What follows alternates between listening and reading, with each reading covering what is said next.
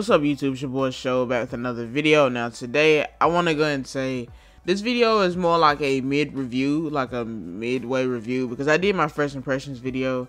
Um, you go check that out if you want to see what I was like when I first started, like, really playing the game, about 20 hours in.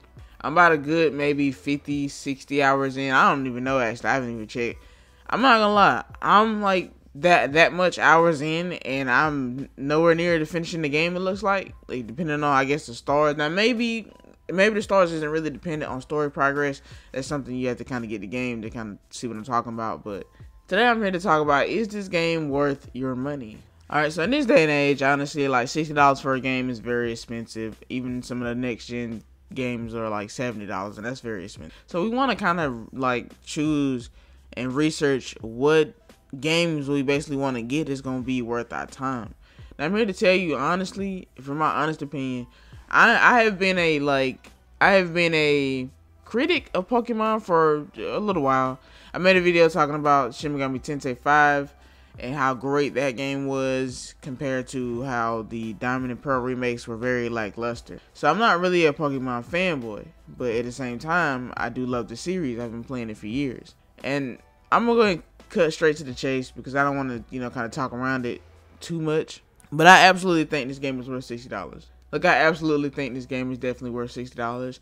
Um, I'm I'm thinking it's worth any DLC they want to bring. Um, because I'm gonna be honest with you, a big big part of me, I'm a big fan of like legendary Pokemon. I have not run into any legendary Pokemon, but the way that the atmosphere feels, it feels like the alpha Pokemon aren't really legendary. But my goal to like catch all these alpha Pokemon because like they they provide like a good challenge, like a good challenge barrier if you want to do that. I feel like they really thought about okay, people saying this game is too easy. Why this game is easy, honestly, you can just grind up and just you know get really stronger and stuff. But in my opinion, it's like the alpha Pokemon provide a pretty good challenge. You know, I've I've been trying to capture like Alpha and Infernape and Empoleon and Torterra. I've been trying to catch them for a while. And I've been really, really unsuccessful. I had to go in there with a different strat. But honestly, they can be kind of challenging. And it's something that you don't have to do. You have these giant Pokemon gods walking around. But in reality, you really don't have to do them if you don't want to do them. Now, one thing I, I will say is that this game brings so many possibilities. I'm really sad because this game seems like a spinoff. It seems like something that I hopefully they'll continue to do this, but it seems like they'll probably go back to like the mainline games. And I'm gonna be sad if they don't continue this format. I'm gonna legitimately be sad. I think this is the future of Pokemon games. Uh, I don't really want to go back to honestly. I don't even know if I want to go back to gym leaders. I was gym leaders was kind of like a uh, you know I would always want a strong person to fight. But having alpha Pokemon, it seems better than gym leaders because for one, you can capture giant Pokemon, which is really cool. For two, it's like they provide enough challenge where they can wipe your whole team if you're not careful. And a lot of gym trainers, gym Pokemon leaders, whatever, they have like one Pokemon, or they have like four Pokemon, and then you can just easily just wipe them away. Because Pokemon aren't strong, you know, you can use just simple strategy to get rid of them. So I don't even care if they like that comes back, but I gotta say, man, the possibilities of this game or this franchise line could be incredible. Yes, it would mean we wouldn't really get a lot of like newer next gen Pokemon, like we wouldn't get another gen, which they probably end up coming another gen after this Pokemon because this this one's gonna be very successful. So I don't think they're gonna be done with it. But I don't know if I can stomach another regular Pokemon game as far as like the way they've been digressing. This is a big step in the right direction. I think the possibility of the other spin-off game, the other sequels to this game could be incredible. Now I don't know all my gens perfectly or whatever, but I'm gonna just talk about certain events. There was one game, I believe it was X and Y, where they talked about like the how the Mega Evolutions got started and how the basically the world was split into two different dimensions. That could be interesting to go back and see. That would be a, a cool event, like seeing those two Pokemon, like seeing the Pokemon battle it out, and you know you'll be able to see like everything that happened back then it was foretold in X and Y. But that's crazy because you know, even though this game does not have mega evolutions, which I'm I'm okay with to be honest with you. I'm okay. Um, you know, they gave me a couple of new features and stuff like the strong and agile strikes and stuff. It provides a little bit more strategy into the gameplay. It'd be interesting because that could be a technique, that could be a thing for X and Y, or you know, going back into like the story of X and Y and whether the cannon fired or didn't fire that would be interesting to go back in and like kind of really you know, experience mega evolutions from the beginning, like something that's new and, and brand new. And at first, I kind of like didn't care too much about like Pokemon redesigns, but um, after seeing some of the starters redesigns, I really, I really thought it was cool. I'm not gonna lie to you, I really enjoyed those because generally, redesigned Pokemon seem a little bit lazy, but they don't do it to a lot of different Pokemon, so I guess it's like it evens out. You know what I'm saying? It's just a whole bunch of reskin Pokemon. I mean, kind of is. But this game is just basically based on the the story of Sinnoh, which is this is what Hisui. I, I don't know how to actually pronounce the actual region name, but I've been having a lot of fun with that. To go back on this topic, I've been having a lot of fun with this game. Uh, a lot of it has been exploring. Uh, I've been doing a lot of exploring, and I I honestly haven't even been doing much like grinding and battling and stuff. I might catch new Pokemon and kind of explore and see what their moves look, look like in this open environment. I mentioned in the first impressions video, I love that you can actually move around in the Pokemon battles now. It doesn't feel as stiff. It just really doesn't feel as stiff.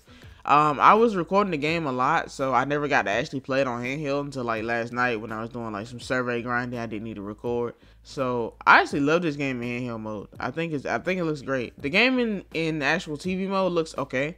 Um, I mean, it looks basically what you would expect a Switch game to look like. You know, um, a lot of people compare this to Breath of the Wild, and I can see why because Breath of the Wild had like a really kind of open atmosphere type area. This, in a sense, is not like Breath of the Wild because there is zones, like there is zones you go into, but it is a pretty good sizable areas. Like I was surprised how big these areas actually are. Um, I don't know if that's like a like game magic or whatever, where they make it seem bigger than it really is. But these these actual maps look really really big. I just unlocked the um the fish Pokemon so I can like swim and and that unlocked a lot of new areas for the into the game for me. This and it's really gated behind progression, but you wouldn't really know. Cause obviously this is like the, the day one patch type stuff, so there are ways to like cheese into areas that you didn't necessarily need to be at in the time. Like when I found the Empoleon, I was using the uh, deer Pokemon to just kind of jump, and he just jumped into like the he, he jumped on the rocks in a certain way, and it made it better. It's actually the crazy to think about because actually as I was recording this video, I had to stop because I was actually getting attacked by a random Pokemon. That's just kind of the feel that you get from this game. You have to be always aware.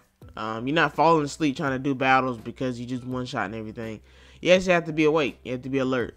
And, you know, I think this could be a fun game for all time. You know, like, I think this is probably, I'm not going to say my best Pokemon game because I feel like maybe um, I might be a little bit recency biased just because I've been playing it so much. And I don't want to say it's the best game ever, but it's definitely in my top three for sure. That's that's no no hands down in my top three.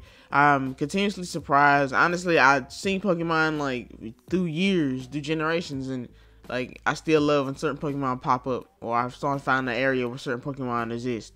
You know, some of my favorite Pokemon. I'm currently trying to find a Lucario. Uh, I'm I'm pretty sure maybe in like the next area or the area after that I'll find a Lucario. I'm trying to find one. I feel like he might be a little bit uh, rare area. I want to just find a Lucario and just train him up and stuff and just make him close combat everything I see. So that being said, guys, is Pokemon Legends Arceus is that worth your sixty dollars? I honestly think it is. I think you should have a pre-order right now. I'm not really a big fan of pre-order. I don't like pre-ordering games because it sends a bad message. It sends a message that it don't matter how bad your game is, we'll play it. But I don't know who was behind this development of Pokemon Legends Arceus, but they did a really good job. They changed the format. They gave us everything we wanted. Please, please, if you do go back to the mainline games, you have to take some elements from this. This game is what the wild area should have been. Like if if this if this had like some of the zones, like the wild area had some of the zones this was, and the wild area was like a beta test for I guess something like this or whatever. They were already in development with this game, but you know, it was something like to to try it out. I honestly don't mind gym leaders. I don't mind the going into the cities and stuff, but it should always at least if you're doing in-game content, it don't even matter. Give us some in-game content when we have a game like this. And maybe that's asking too much because this is a full-fledged game and doing that would be tacking on another game but I mean, hey, Soul Silver did it. They gave us a whole, you know, a whole end game that was really a new game. With that being said, guys, thanks for watching. Please subscribe. I'll be dropping more Pokemon videos. Um